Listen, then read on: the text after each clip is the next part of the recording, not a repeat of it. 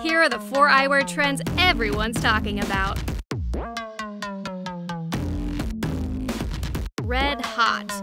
Bring on the heat with red eyewear. This trend looks absolute fire on everyone. Go big with 70s inspired oversized frames. They're bold, they're glam, and we want them in every color. Fly high. Fasten your seatbelts because these Calvin Klein aviators are ready for liftoff. 90s nod. The 90s are back in a big way, and these Ferragamo sunglasses are all that and a bag of chips. See all the trends at eyeconic.com.